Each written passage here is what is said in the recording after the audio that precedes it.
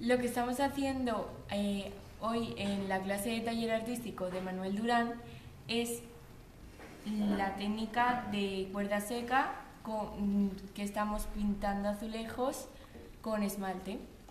Y lo que necesitamos para el primer paso es un azulejo limpio y un papel en blanco.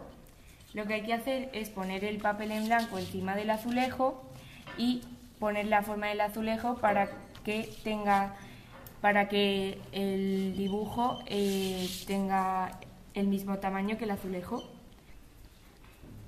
Una vez hayamos hecho el dibujo, necesitamos limpiar el azulejo bien para, que salga bien el dibujo. Eh, ponemos el dibujo y el papel de calca encima del azulejo y lo calcamos para que se quede marcado.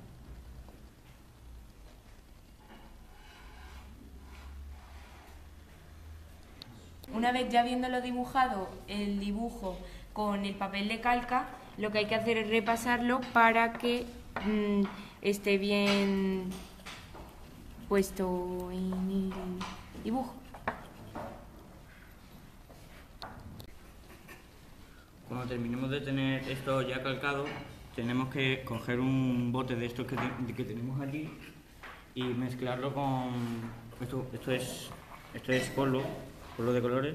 Tenemos que mezclarlo en un bote como esto con agua y cuando ya esté, cuando ya esté ni medio líquido ni medio, ni medio, ni medio denso, lo, tenemos que que echar en unos botes de estos y tenemos que pintar.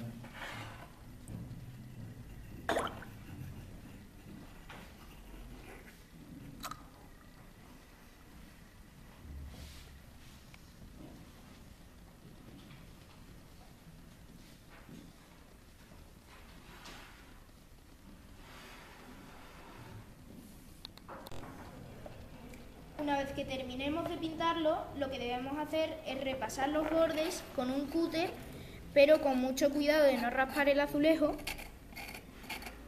Y también debemos repasar los bordes con un lápiz para que queden bien marcados.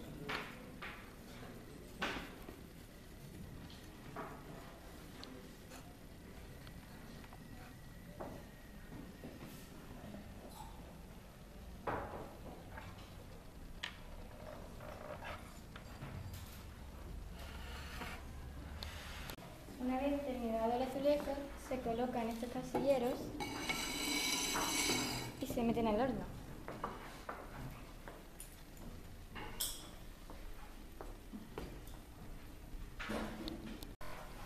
Bueno, y el horno puede alcanzar mil grados de temperatura y pues esperamos, cuando lo metemos y esperamos a que se haga el día siguiente.